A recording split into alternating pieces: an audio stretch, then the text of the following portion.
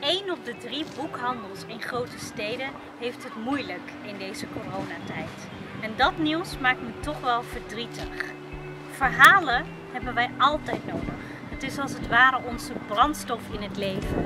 En deze prachtige verhalen die huizen in boekhandels. En die worden vaak gerund door de meest bevlogen mensen. Een bezoek aan de boekhandel is als een ontmoeting met personages waar je verliefd op wordt. Met bombastische ideeën. Het zit vol met passie en schoonheid en dat kunnen we niet zomaar links laten liggen. Daarom ben ik begonnen met deze korte reeks vlogs, een soort shout-out naar de lokale boekhandelaar. En vandaag ga ik op bezoek bij Bos en de Jong boekhandelaren in Katendrecht, Rotterdam.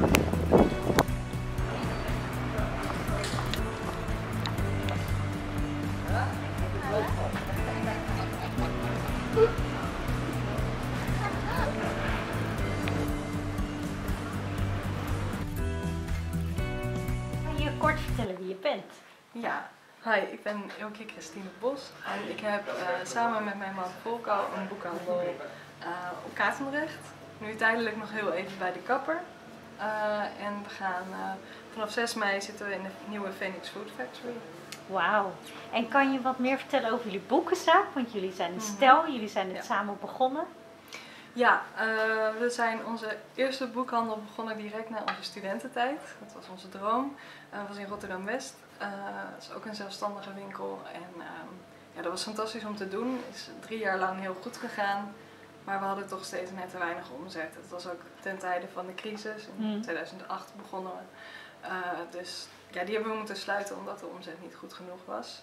Ehm, en sindsdien hebben we andere baantjes gehad en altijd al de droom gehouden om dat toch nog een keer te gaan doen. En in 2015 zijn we ehm, ja, dat avontuur nog een keer aangegaan. En in de Phoenix Food Geweldig. Factory een boekhandel begonnen. Ja. Wauw. Dus eh, ja, helemaal naar onze eigen smaak en onze eigen favoriete boeken of klassiekers. eh, we proberen af te tasten wat onze klanten mooi vinden. Nou, ik voel hier heel veel passie in deze boekenzaak. En eh, dan gebeurt er zoiets als eh coronacrisis. En lees je in de krant allemaal berichten over één op de drie boekhandels die het nou heel moeilijk eh, hebben. En ik vroeg me af, wat doet dat met jou en wat merken jullie hiervan? Ja, dat is wel even schrikken. Ehm, dat doet even denken aan de, de vorige keer dat we op moesten houden omdat het slecht ging. Daar ben je dan wel bang voor. Ehm, maar uiteindelijk ja, gaat het nog goed genoeg. Ehm, wat we merken is eh, dat onze klanten echt hartverwarmend bij ons blijven. En juist eh, bij ons blijven kopen. Dat er misschien zelfs ook wel nieuwe mensen uit de buurt hun best doen om, om bij ons boeken te kopen. Wat mooi. Dus dat is wel heel mooi. Ja, gelukkig. Ja. Hè? ja Daar ben ik wel heel blij om. Ja, wij ook. Het was even een soort eh, adempauze, maar ehm, ja, nee, dat was, gaat goed. Het is oké. Ja. Wil ik je nu graag eh, wat vragen stellen over het leesgedrag van mensen nu? Is dat anders of niet? Ehm, en ik ben ook benieuwd hoe je dat zelf ervaart. En ik wil heel graag een boekentip van jou Mhm. voor deze tijd. Dan gaan we naar een andere boek, hè? Oké, en ehm, lezen mensen nou anders in deze tijd? Hebben we meer behoefte aan troost of eh Ja. klassiekers misschien? Ik merkte in het begin eh, dat mensen heel graag ehm, de klassieke eh, literatuur zoals eh, De Pest van Camus, boeken die eigenlijk over vergelijkbare situaties eh, Oh ja. gingen, wilden Ja. lezen. Of klassieke filosofie zoals Hannah Arendt, dat nog steeds wel. Ehm, maar ik merk dat mensen het ook een beetje moe worden en zin hebben in lekker afleiding, Ja. escapisme noemen we dat dan. En ehm, Daar heb ik zich verliezen in een boek. En, Ja. en dat merken we wel. Ja, mensen hebben meer tijd om te lezen, dus dat is eh, eh, heel fijn als boekhandelaar. En wat weer er nou veel, eh, veel over de toonbank naast die Mm, klassiekers? Je Ja, we hebben meestal ehm, per persoon dat we gaan kijken wat iemand goed vindt en daarop specifiek iets zoeken. Maar eentje waar ik heel enthousiast over ben en die iedereen aanraad eigenlijk, die nu vraagt van wat moet ik lezen? Ja. Noem iets. Oh. Dus Tussenruimte van eh, Vanessa Oostijen is een debuut. Ja. Een debuutroman. Zij heeft al wat andere korte dingen geschreven. Ehm, zij schrijft ontzettend meeslepend, met een bizar, magisch, realistisch, ehm, ja, een verhaal waarbij je bijna niet meer weet wat waar gebeurt en wat, uh, wat er in de fantasie van de hoofdpersoon zich afspeelt. Maar je gaat er helemaal in mee. Het is echt heerlijk uh, je laten slepen en intussen literair fantastisch. Wauw. Ja. Nou ja, ik ben verkocht nu al. Nu snap, nu snap je waarom je naar de lokale boekhandelaar moet gaan. Want dan krijg je dit soort adviezen, hè? Ja. Dat, uh, nou, die hou ik meteen bij me. Dan, uh, ja, ik begon natuurlijk net het gesprek met één op de drie boekhandels. Heeft het moeilijk, dat is een beetje zwaar. Maar er zijn vast ook uh, mooie dingen nou, die je meemaakt. je zei het net al, mensen komen jullie juist opzoeken. Nou wat meer. En ook de vaste mensen blijven komen. Heb je nog ehm, een, een, voorbeeld daarvan, een verhaal waar we de kijkers blij mee kunnen maken.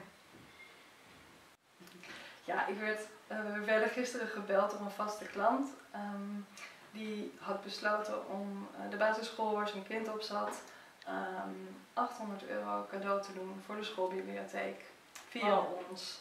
Dus wij mochten die school vervolgens uh, bellen met dat nieuws. Van alsjeblieft, zoek maar voor 800 euro uit aan boeken voor je bibliotheek. Na de vakantie is die hele bibliotheek weer helemaal gevuld. En uh, die, diegene heeft dus ons geholpen en de bibliotheek uh, van de school van zijn kind. En, en wilde anoniem blijven. Dat is echt zo'n heldendaad. Oh. Ongelooflijk. Oh, dat is echt Dat zijn wel mooie dingen. Van die ja. stadsprookjes. Ja, precies. Mooi. Ja, ja. Heel bijzonder. Heel mooi. Ja. Dankjewel voor het delen. ja.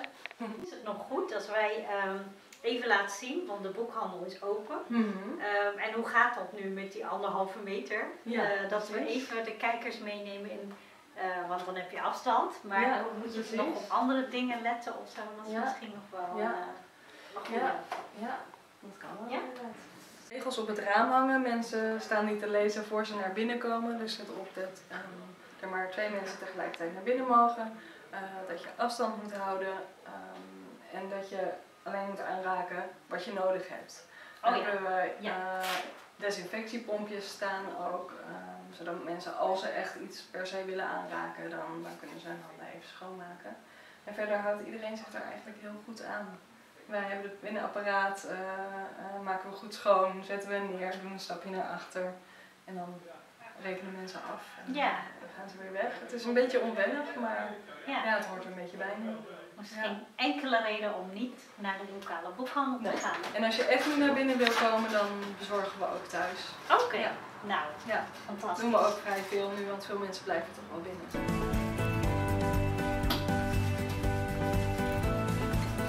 Hi. Hi. Nou, uh, na jouw prachtig verhaal wil ik hem echt lezen had er helemaal niet aan gedacht. Nee. Dat is toch mooi, weet je? Dan kom je toch op iets nieuws. Ja. Ja, ja dat is het leukste. Dus mensen aan het gewoon helpen waar ze zelf moeten voorkomen. Ja. ja. Contact betalen is extra. Ja. Wil je bon? En nee hoor, het zo. Gaat het zo mee? Gaat zo mee, zeker. Heel veel plezier ermee. Ja, dankjewel. En dan bedankt. advies en je hoort van mij Heel leuk, laat weten. Oké, doeg! Nou, ik ben net dus bij Bos en de Jong boekhandel geweest. En jullie kunnen zien hoe goed dat werkt, een persoonlijk advies. En waarom je echt moet langsgaan bij je lokale boekhandelaar.